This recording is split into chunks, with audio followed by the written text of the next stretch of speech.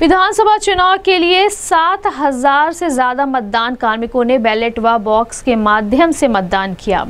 जिसके संबंध में जिलाधिकारी, जिला निर्वाचन अधिकारी विजय किरण आनंद ने बताया कि निर्वाचन आयोग के निर्देशानुसार मतदान कार्मिकों का भी मतदान कराने के लिए निर्देश जारी किया गया है, जिसको देखते हुए प्रशिक्षण केंद्र पर ही बैलेट बॉक्स के माध्यम से मतदान करवाया जा रहा है तथा यह मतदान राजनीतिक दलों की उपस्थिति व पुलिस प्रशासन की निगरानी में किया जा रहा है। उन्होंने कहा कि मतदान का वीडियोग्राफी भी की जा रही है तथा अभी तक सात हज़ार से ज़्यादा मतदान कार्मिकों ने मतदान किया है तथा मतदान की प्रक्रिया एक मार्च तक चलेगा और इसके साथ ही जितने भी नागरिकों ने मतदान के लिए फॉर्म भरा था, बीएलओ घर घर जाकर उनको मतदान पर्ची पहुँचा रही हैं, जिससे कि तीन मार्च को होने वाले मतदान में सभी लोग बढ़ चढ़कर हिस्सा लें। उन्होंने कहा कि शुक्रवार को 400 से ज़्यादा कार्मिकों ने मतदान किया है और मतदान प्रतिशत को बढ़ाने के लिए जनपद के सभी विद्यालयों के छात्रों को शपथ दिलाया जा रहा है कि वह घर घर जाकर अपने गार्जियन को मतदान के लिए प्रेरित करेंगे। उन्होंने कहा कि नागरिकों की सुविधा के लिए बूथों पर सभी सुविधा उपलब्ध करवाई जा रही है तथा अगर किसी को भी मतदाता पर्ची नहीं मिली है तो वह बीएलओ से संपर्क करके अपनी मतदाता पर्ची ले ले, जिससे कि तीन मार्च को होने वाले मतदान में सभी लोग मतदान कर सकें। इस संबंध में गोरखपुर न्यूज़ से बात करते हुए जिलाधिकारी जिला निर्वाचन अधिकारी विजय किरण आनंद ने कहा। का मतदान किया जा रहा है कितने उत्तर हो है आ,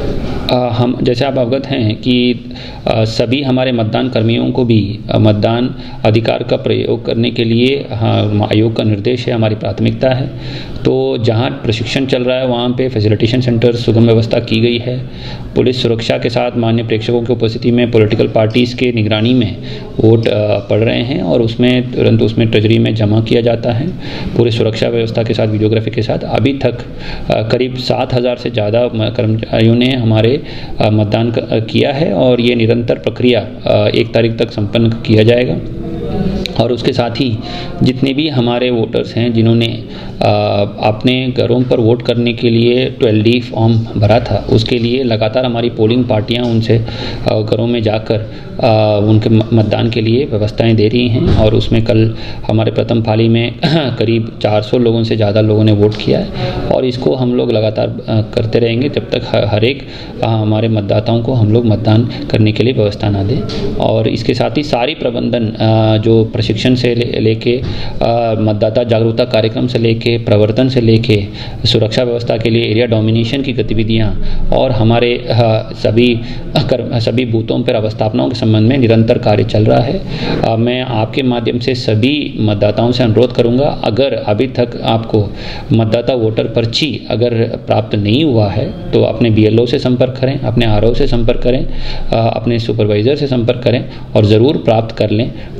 हम हमारी प्राथमिकता है कि घर घर दस्तक देते हुए इन पर, मतदाता पर्चियों को बांटें ताकि आपको वो मतदान के दिन कोई दिक्कत या असुविधा ना हो।